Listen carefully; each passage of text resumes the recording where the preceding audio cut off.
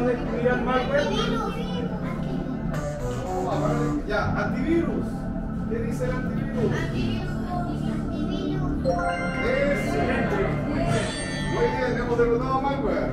Después viene troyano. ¿Con qué arma podemos destruir el troyano? ¿Saben ustedes? Desactivar el antivirus. Abrir la aplicación para eliminar el troyano. Vamos desactivar el antivirus. No hay que usar software. Ni craqueado. Excelente. Excelente. Y después el phishing. ¿Con qué arma podemos destruir el phishing? Eliminar el archivo de correo.